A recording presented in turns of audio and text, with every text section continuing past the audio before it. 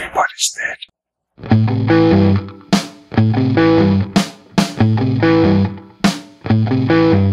Discouraging words, is that what I heard? I thought that you said everything would be easy. Thought we were cool, cool in the gang.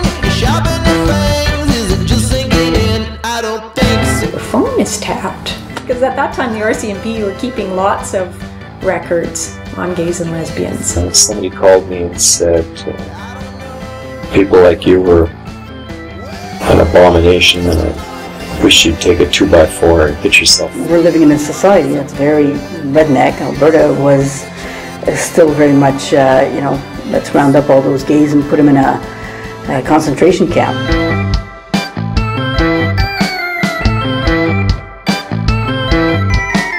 Human rights are not a bucket of rights. When you take one out and extend it to a group, it doesn't mean there's less human rights in there for everybody else. Discrimination hinders coming out, and coming out hinders discrimination. You can't just set us aside anymore because we're not going to take it. when you don't care, you have you're not carrying any weight on your shoulders, and this internalized shame that you have would, would dissipate again.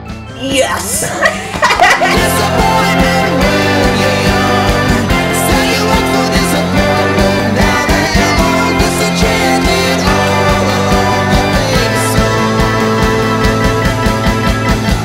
Social change only comes from within the group.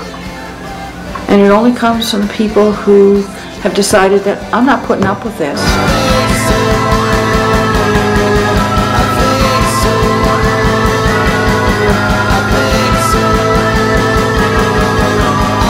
We do have stories to tell. We've got lots of experiences. They do need to be preserved and built on.